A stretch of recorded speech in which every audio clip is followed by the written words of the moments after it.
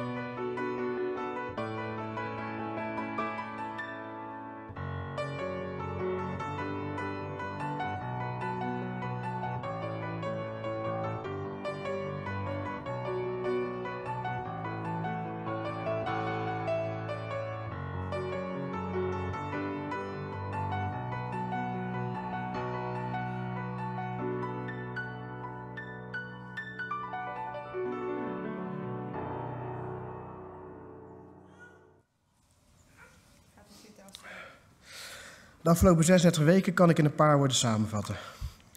Jackson kwam onverwacht en ging onverwacht. Begin 2017 hebben Davy en ik mijn oude huisje in Barendrecht verkocht. Helaas met veel verlies, waardoor we een behoorlijke restschuld terug moeten betalen aan de bank. Ondertussen wonen we met twee katten op zolder bij Peter, Davy's vader. Onze zwangerschap was dus behoorlijk schrikken, maar het was ook een droom die uitkwam. Gelukkig reageerde ook Peter enthousiast en mochten de werkkamer zelfs omtoveren tot een echte babykamer. Voor Davy's zus was het ook heel bijzonder. Kira had zelf net haar zwangerschap aangekondigd en Davy en Kira gelijktijdig zwanger van een eerste kind. Hoe mooi kan het leven zijn? Voor Davy en mij was de zwangerschap één grote ontdekkingsreis. Onze eerste zwangerschap. De zenuwen van de eerste afspraak met de verloskundige, we zien groeien van Davy's buik. De 20 weken echo, maar vooral ook de baby review parties met vrienden en familie. Confetti-ballonnen, een gevulde cake, een eigen versie van de escape room. Prachtig om al die reacties te zien. Het was ook heel bijzonder dat mijn moeder en Davy's vader aanwezig waren bij de geslachtsbepalende echo. Davy heeft de zwangerschap vrij soepel doorlopen. Al vond het zwaar dat ze steeds meer moeite kreeg met het fysieke deel op haar werk. Ze vindt haar werk superleuk en bepaalde dingen uit handen geven was lastig. Tijdens de onderzoeken bij de verloskundige ging het eigenlijk altijd goed. Even op de weegschaal, prima op gewicht. Vervolgens bloeddruk meten, alles in orde. Heb je zelf nog vragen of opmerkingen, Davy? Nee, eigenlijk niet. Ik voel me goed. En dan die naam kiezen. Een meisjesnaam hadden we in no time gevonden. Maar een jongensnaam, drie apps en honderdduizend namen verder waren we nog niet uit. Althans, we hadden een leuke naam, namelijk Jax, als in J-A-X-X. Maar dat lag bij mij een beetje gevoelig. Ik ben een geboren en getogen Rotterdammer en fijn zit in mijn DNA. Fire is een naam die ook voorkomt in de namen top 100. En vraag een AX-ziet, bijvoorbeeld Dave, waar zit je? Dave. Stel dat jouw vrouw nou komt met Fire als voornaam voor jouw zoon, wat zou je zeggen? Beetje lastig hè, Fire als een Feyenoord, dat kan gewoon niet. En dat had ik met Jax. J-A-X-X, zet er een A voor en je hebt Ajax. Hell fucking no. Omdat we Jax toch wel erg mooi vonden, werd het Jax met J-A-C-K-S. En dat werd uiteindelijk Jackson. Mijn vrienden en ik, wij houden van hardstyle. Ik luisterde de hele dag door hardstyle en ik droomde van mijn eerste festivalbezoek met Jackson. Om toch een beetje hardstyle toe te voegen in deze ceremonie heb ik de eerste twee pianostukken gekozen. Dit zijn namelijk twee nummers van Jess, onze hardstyle pianist. En hij tovert bekende hardstyle nummers om in prachtige pianostukken. Met name het tweede stuk waarmee Jackson en ik opkwamen lopen was vroeger een van mijn favoriete nummers. Ik ben Jess dankbaar dat we zijn pianostukken mogen gebruiken. En Robert en Pamela, bedankt voor het regelen.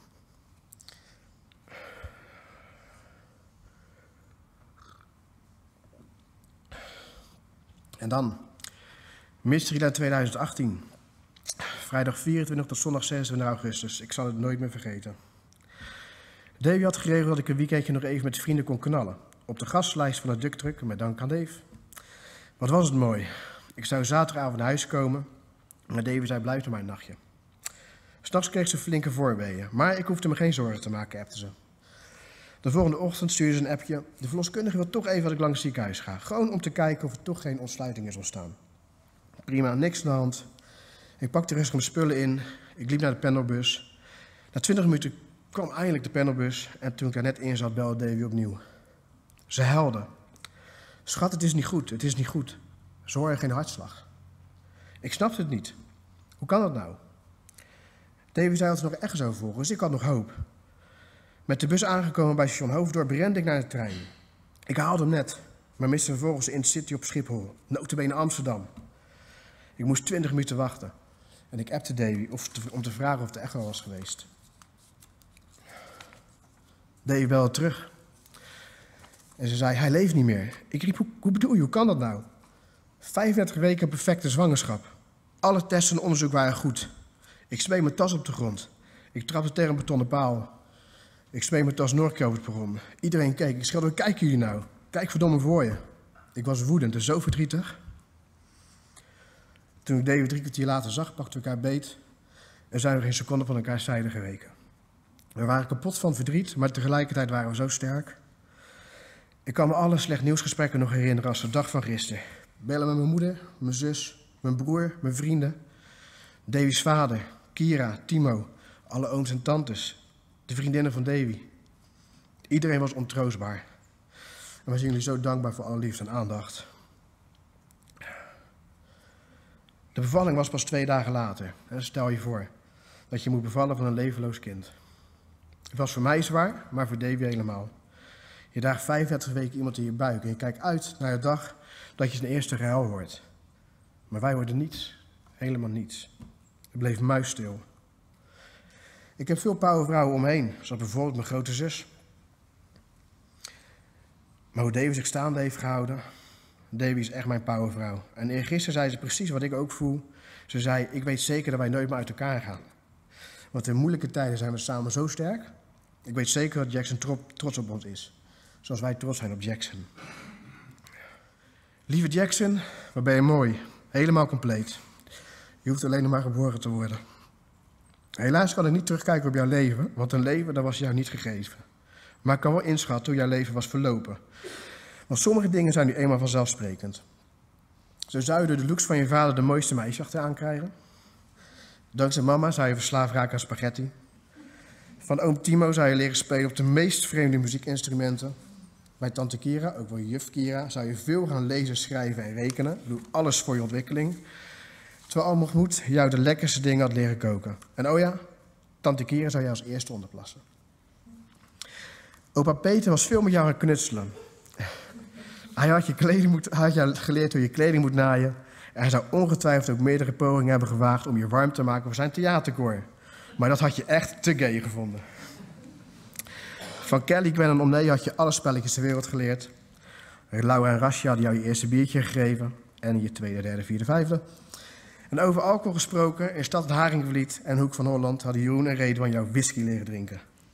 En in Oud-Vossemeer had je bij Jolly en Patrick ieder jaar het grootste en mooiste Halloweenfeest meegemaakt. In Amsterdam had je sowieso vaarders gekregen van oom Dave.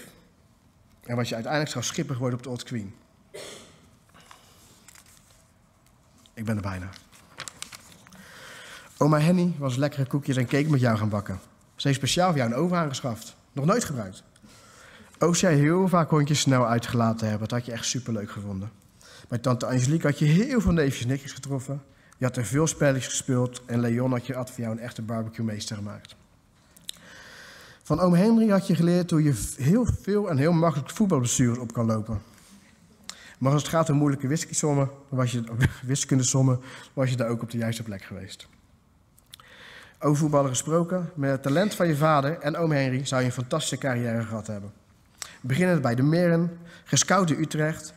Daar zou je waarschijnlijk samen gaan spelen met neefje Kai en zoontje van Jasper en Rianne, waar we met smart op wachten. Papa zou elk weekend de jeugd op de tribune zitten met Jasper en Guido. Uiteraard in Skybox. Al snel schomen de aanbiedingen binnen en heel de familie zou je plat gebeld hebben. Stef zou je hebben overgehaald om voor PSV te kiezen.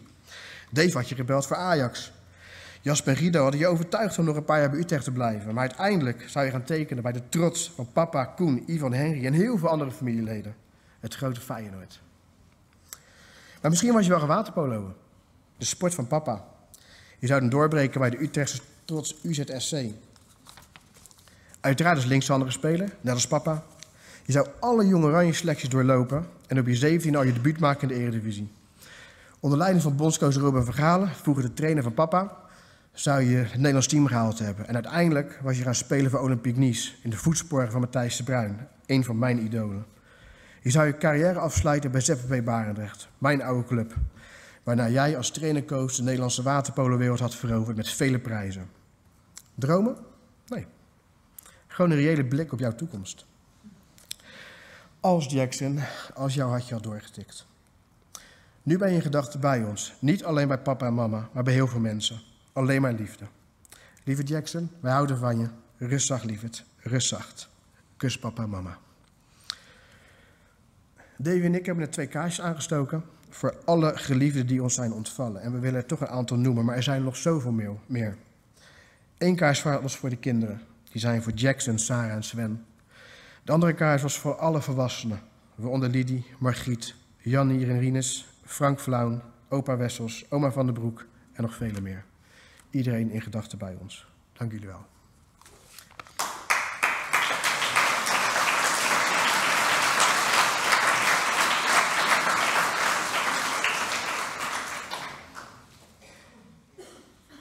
Lieve Jackson, geboortekaartje met daarop de Euromast en de Domtoren stond ook een huis. Rond dat huis fladderde een blauwe vlinder en bij dat huis stond geschreven: Houten, daar wonen we nu, bij opa op zolder. Zo had het ook eigenlijk moeten zijn. We waren er met z'n allen klaar voor. Je papa en je mama, je tantes en ooms, je oma, oude oma, ja, iedereen. En ik ook. Mijn werkkamer, naast mijn slaapkamer, zou jouw kamertje worden. Helemaal in jungle-stijl. Met een junglegroene muur, veel planten en wilde knuffeldieren. Papa en mama hadden het heel mooi gemaakt, omdat ze zoveel van je houden en naar je komst uitkeken. Ik vond het heel bijzonder dat je straks bij mij in huis zou komen wonen. Hoeveel opa's zullen dat meemaken? Zonder dat je ouders het wisten, had ik stiekem al allerlei plannetjes gemaakt. Opa-kleinzoonplannetjes. Daar komen geen papa's en mama's aan te pas. Ik had zo bedacht dat we allerlei leuke dingen zouden gaan doen. Lekker samen fietsen of wandelen hier rond de plas. Samen naar de dierentuin om al jouw jungledieren ook in het echt te kunnen zien. En ook de Efteling stond zeker op mijn to-do-list. Ik zou je verhalen vertellen en voorlezen als je hier zou logeren. We zouden allerlei waardevolle gesprekken hebben. Ik zou je troosten als je verdrietig was en je heerlijk verwennen, zoals alleen opa's en oma's dat kunnen. Het is nu allemaal anders. Ik zal in mijn dromen met je op pad gaan, al die leuke dingen doen en samen met jou in mijn dromen de wereld ontdekken. Wat jammer, Jax, dat we dat allemaal niet meer in het echt kunnen doen. Toch was het heel bijzonder dat je een paar dagen bij mij in huis en bij papa en mama gewoond hebt. In je eigen junglekamertje aan de Baarsloot. Die junglekamer was nu één grote bloemenzee. Je moet gevoeld hebben dat je welkom was. Dat je geboren bent in een warm nest. En dat je, hoe kort dan ook, gevoeld moet hebben dat we heel veel van je gehouden hebben. Je hebt mijn hart veroverd en er zal altijd een speciaal plekje voor jou zijn in mijn hart. Ik ben trots op je, Jackson. Trots dat je mijn kleinzoon bent. Zo mooi, zo lief, zo'n prachtig ventje. Wat jammer dat je ons alweer zo snel gaat verlaten, want ik had zo graag een lieve opa voor je willen zijn. Nu ben je in de hemel bij oma Lidie en nog veel meer familie van jou. Ze zullen allemaal goed voor je zorgen, daar kun je van op aan. En ooit, ooit Jackson, dan zien we elkaar weer. Dan zal jij samen met mij de hemel ontdekken en dan halen we de tijd die we hier niet hebben gekregen dubbel en dwars in. Dag, lieve Jackson La Rondelle. Rust zacht. Ik zal je missen, maar ik zal je nooit vergeten. Dikke knuffel van opa Peter.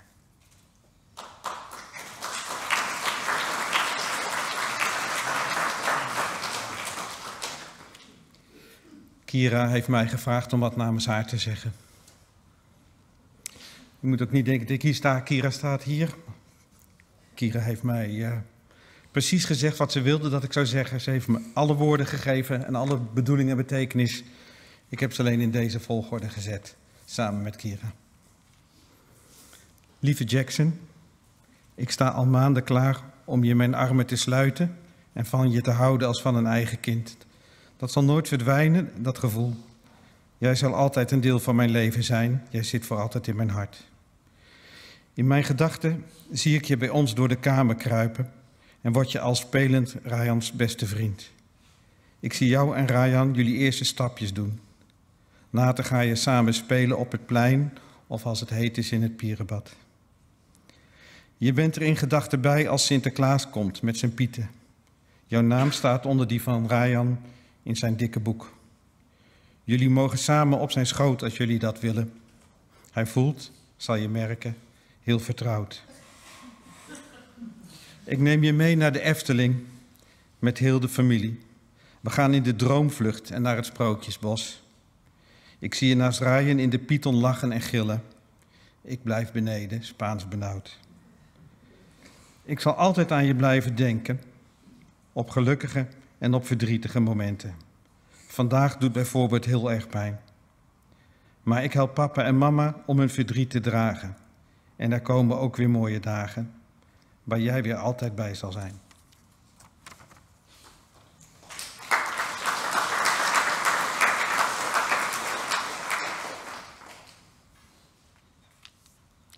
Lieve Jackson, geboren als een kleine ster. Het is nu bijna een week geleden dat jij twee hele bijzondere mensen tot zijn ouders hebt gemaakt. Een papa en een mama die al hele mooie plannen voor jou klaar hadden en uitkeken om allerlei mooie momenten te beleven met jou. Je kamer met het thema Jungle laat al zien dat de spannende avonturen voor jou in gedachten hadden. Het is moeilijk te bevatten dat dit jullie drieën niet is gegund. Zoals je papa zo mooi heeft omschreven, bizar genoeg was er op een bepaald moment geen hartslagje meer hoorbaar. Heel soms houdt een hartje er zomaar mee op. En helaas viel jij nou net onder die ene procent. Als tante van jouw kleine Jackson en zus van jouw papa en mama, kan en wil ik jou dan ook trots vertellen dat papa en mama hun rol direct en heel bijzonder hebben weten op te pakken. Ze hebben alle mogelijkheden aangegrepen om dit korte moment samen met jou zo intens en onvergetelijk mogelijk te maken, om zo alle herinneringen aan jou te kunnen koesteren. Ik heb helaas niet de kans gekregen jou als persoontje te leren kennen, maar ik ben er vrij zeker van dat wij iets gemeen hebben met elkaar. Zo trots als ik ben op mijn broer en mijn zus, zo trots zou jij nu ook zijn op je papa en mama. Lieve Jackson, het heeft niet zo mogen zijn, maar het doet niets af aan het feit ik heb er een klein neefje bij. Liefs van je tante Liek.